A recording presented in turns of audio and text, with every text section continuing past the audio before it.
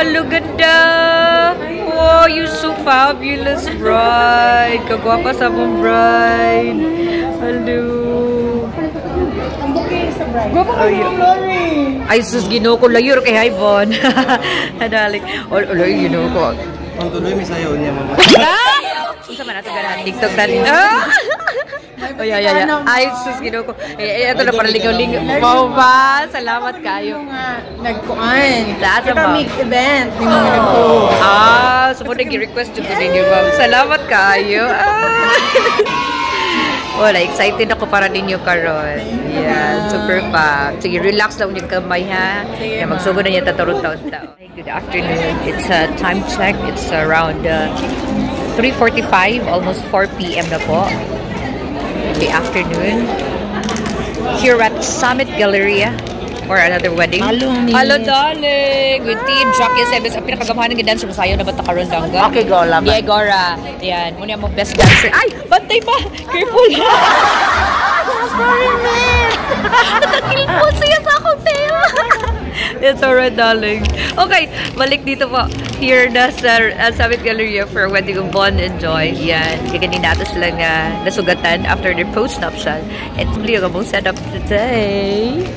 I'm with team uh, Cebu Weddings Events uh, planners po of uh, Jackie Aceves. Yeah.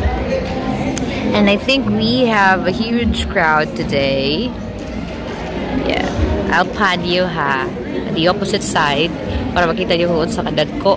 Sa summit, the whole summit venue gikuha there. Ma'am Jack, mga pila ka book din eh. Lag guest, murag daghan lagi kaayo.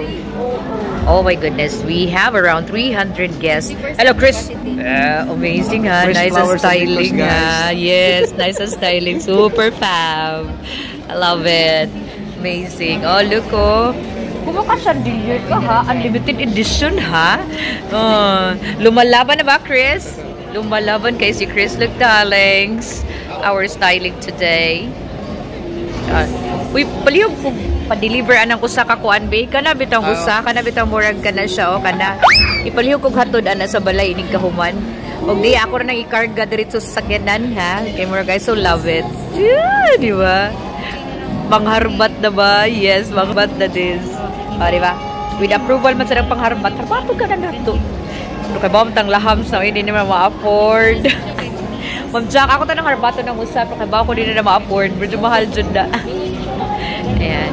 Done na with the post-nuptial. In a bit, we're gonna start with the program na. Ah, so get ready guys. Aja for now.